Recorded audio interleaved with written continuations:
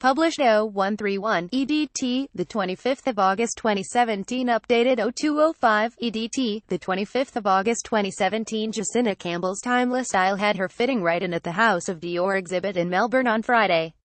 The model and wife of AFL legend Lance Buddy Franklin wore a glamorous magenta of the shoulder top and high-waisted skirt combo by Christopher Esber.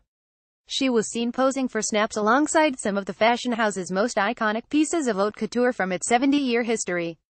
Fits right and Jesinta Campbell's Ney Franklin timeless style had her fitting right in at the House of Dior exhibit in Melbourne on Friday. The 26-year-old's stunning tunic featured a classy draped open sleeve, cinched by deconstructed cuffs. She tucked it into her double-barrel skirt, featuring two side slits and rows of resin button in alternating marble color patterns. Both pieces are by Australian designer Christopher Esber.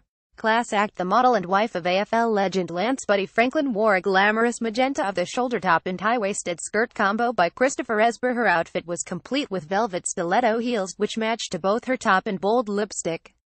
The model fit right in alongside a strapless red gown and ornate layered red and yellow piece with a statement collar.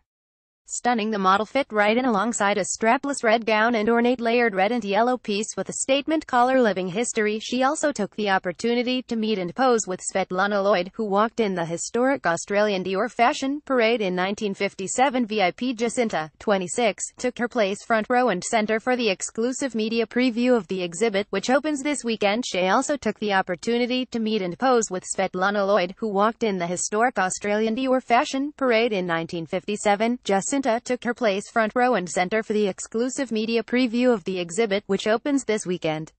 It will feature perhaps the greatest Dior haute couture collection ever displayed in Australia. Simply the best it will feature perhaps the greatest Dior haute couture collection ever displayed in Australia.